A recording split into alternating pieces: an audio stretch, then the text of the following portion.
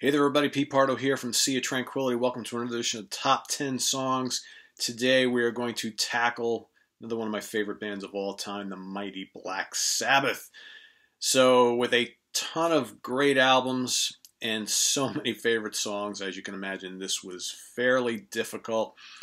Uh, you know, I have probably a good 25 key songs that are, you know, near and dear to me, really near and dear to me and it's just funny how as much as I love like the Dio era of the band, like the, the few albums they did with Dio, and uh, I love the Born Again album. I love the Seventh Star album. Barely, if any of those songs made my top ten. I, I think those classic, classic early Ozzy albums is just kind of where the most of my favorite tracks sit, although a couple Dio tracks did make uh, my top 10. But I've got a, a pretty huge um, honorable mentions list, which kind of goes into a lot of the other stuff that I like. So let's kick this off. Why don't we? We're going to start at number 10 from the Mob Rules album, Sign of the Southern Cross. Just And there's a lot of great songs on Mob Rules. And, you know, the title track is a big favorite of mine, and Voodoo is great, and Turn Up the Night, you know, and so many great songs on that. But for me, I think Sign of the Southern Cross is just this dark, melancholy, doomy gem that I've always just really loved, and it's so freaking heavy. Um, one of my favorite tunes from those first two albums with Dio there. So that comes in at number 10. Coming in at number 9 from the Paranoid album, Fairies Wear Boots. You know, and I probably mentioned this numerous times before on this channel the Paranoid album is the first album that I really got into from Sabbath. That was probably like in the late 70s. And that forever changed my life into discovering like heavier music beyond Kiss. And as most folks who kind of grew up with the Paranoid album, you know, Iron Man and War Pigs and of course the title track, we've all heard to death. And while we all still love those songs, I, I think for me over the years, as I I gravitated more towards Fairies, uh, War Pigs I still love a lot. Iron Man I'm I'm kind of done with. Paranoid I probably never need to hear again, although can't knock the fact that it's a great track, right, and a classic track. But for me, Fairies Wear Boots was always like the hidden blockbuster on that album.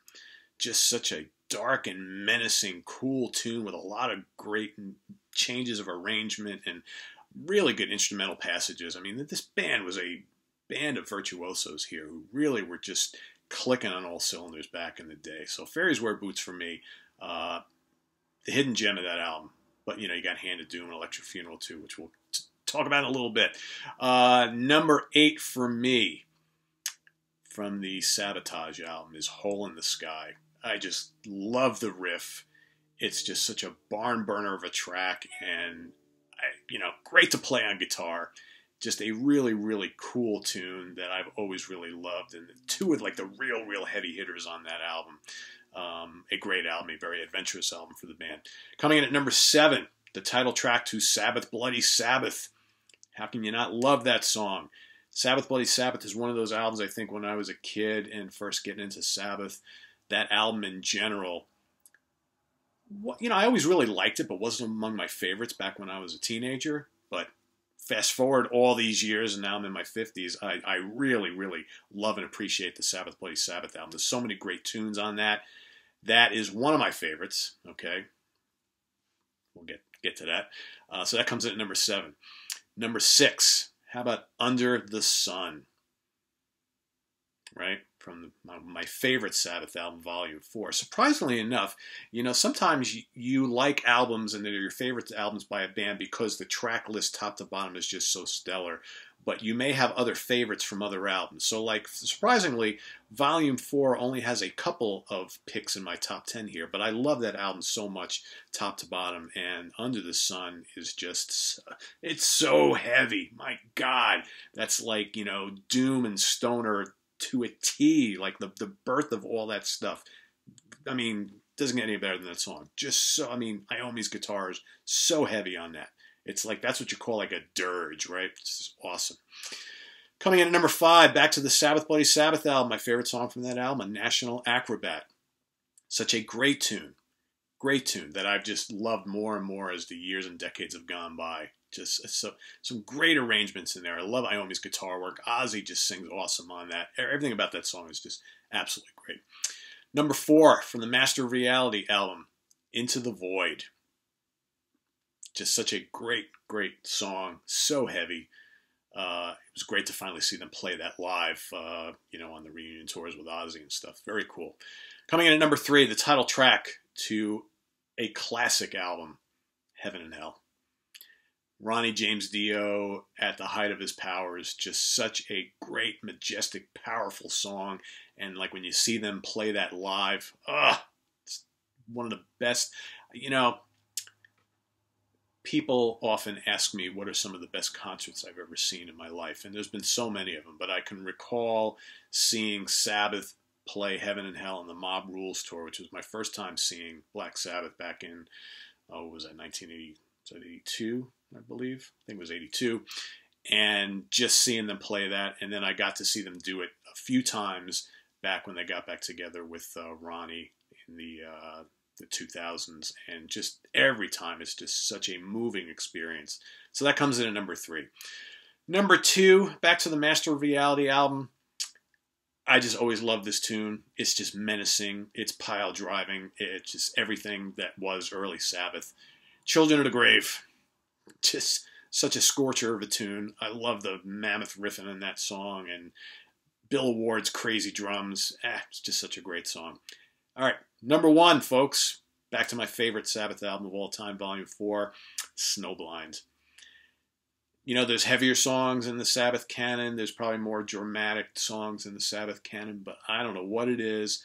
Something about Snowblind has always just infiltrated my brain and my body, and it's it's been my favorite Sabbath album for decades. I mean, my favorite Sabbath song for decades, and I just love it to death, man. I love all the little changes that go on in the song. I love the guitar solo. I love the vocals, man. Everything about it. It's, it's just great classic classic Black Sabbath. So, how about some honorable mentions? Why don't we? Let's, as we always do, let's start from the beginning. None of these songs made my top 10, although I love this album to death. Actually, one of them was in my top 10 and it got bumped at the last minute. So, title track Black Sabbath, of course, The Wizard. Uh, NIB is the one that got bumped. I've always loved NIB to death. Uh, Wicked World, another great one. From the Paranoid album, War Pigs. Of course, you gotta love War Pigs. Uh, Gotta love Iron Man, even though I'm pretty tired of it. Uh, Hand of Doom and Electric Funeral, absolutely. I'm going to include Paranoid in my honorable mentions just because it's such a classic tune. It's one of the first songs I think I ever learned to play on guitar, start to finish. So I, I never need to hear it again, but it's a classic. Uh, from Master Reality, how about Sweet Leaf? After Forever, which is a song that I really wanted to include. Uh, I love that song. Uh, Lord of this World, another favorite of mine from Master Reality. From Volume 4, how about the opening track, Wheels of Confusion? That's such an underrated track. Tomorrow's Dream, another song, an early song that I learned how to play top to front to top to bottom, start to finish on guitar. Um, Supernaut, love Supernaut to death. Cornucopia, St. Vitus Dance, great songs from Volume 4. How about some other gems from Sabbath Bloody Sabbath? Uh, Sabbra Cadabra, Killing Yourself to Live, another one that I really wanted to include but just couldn't fit it. Spiral Architect. From Sabotage, how about Symptom of the Universe, right? Ugh, great. Megalomania, Thrill of It All, The Writ. From Technical Ecstasy, Backstreet Kids, and Dirty Women, which is easily my favorite song off that album. Uh, the title track to Never Say Die, really the only song that I love on that album. Uh, from Heaven and Hell, Neon Nights, all right, the bulldozing opener, Children of the Sea, Die Young, Die Young. I really wanted to squeeze in somehow, couldn't do it. Uh, lonely is the word.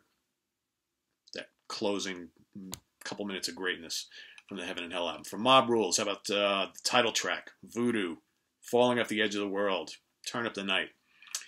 From Born Again, an album that I love to death, but I just couldn't see unseating any of the songs in my top 10 to put any of the tracks on there. But I want to give a shout out to Disturbing the Priest, Zero the Hero, the title track, Hotline, Trash, The Fallen, which was that leftover track that's on the remaster. Great, great song. From Seventh Star with Glenn Hughes, In for the Kill, Turn to Stone, title track Seventh Star, Danger Zone. How about the Tony Martin era, Eternal Idol, The Shining, and Glory Ride? From Headless Cross, which is my favorite album of the uh, Tony Martin era. The title track, Devil and Daughter, which I love to death. When Death Calls, I think my favorite song from the entire Tony Martin era of the band. Kill in the Spirit World. From Tyr, how about Anno Mundi and the Sabbath Stones? Uh, more Dio stuff from Dehumanizer, Computer God, I, which another song that I really wanted to squeeze into my top 10. TV Crimes, After All, The Dead. From Cross Purposes, uh, another Tony Martin album. Cross of Thorns, The Hand That Rocks the Cradle. Uh, from 13, which is their final album with Ozzy, uh, The End of the Beginning, God is Dead. I love that whole album, but I really love those two tracks a lot. And I want to give a shout out to the Heaven and Hell album, The Devil You Know. How about Fear, Bible Black, and Atom and Evil? Another strong album. So there you have my honorable mentions from Mighty Black Sabbath, a band that I just love to death and have since I was a wee little lad. Let's go over my top 10 one more time. Coming in at number one, Snowblind. Number two, Children of the Grave. Number three, Heaven and Hell. Number four, Into the Void. Number five, A National Acrobat. Number six, Under the Sun. Number seven, Sabbath Bloody Sabbath. Number eight, Hole in the Sky. Number nine, Fairies Wear Boots. And number 10, The Sign of the Southern Cross. Hope you like this little look at some of the classics, in my opinion, from Black Sabbath. In the meantime, after you've digested this and gone back into your Sabbath collection to see what your favorites are and putting them in the comments and feedback, make sure you go to the website www.seatranquility.org. Check out all our latest news and reviews on all sorts of good stuff that's come out. Check us out on Facebook. We've got lots of great polls and things going on there every single day. So go ahead and like us and take part in the polls and vote for some cool albums and bands and musicians and all that kind of stuff. Also check us out on Twitter. Got more, lots more of these uh, top 10 songs coming up. I'm going to do a Uriah Heep one like any day now. That's coming up next, I believe. Uh, ELO is also on the immediate pipeline. I think I'm going to do a Grand Funk real soon too, so stay tuned for that. We got lots of history of shows, new product reviews, rants, all sorts of stuff. Questions and answers coming up again, hopefully this weekend or early next week. So till then, take care. See you real soon, guys. Bye bye.